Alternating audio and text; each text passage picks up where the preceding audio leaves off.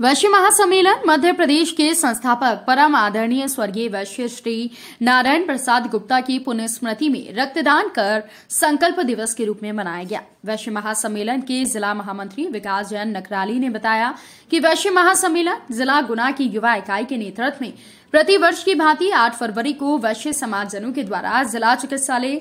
गुना में रक्तदान महादान कर संकल्प दिवस के रूप में मनाया।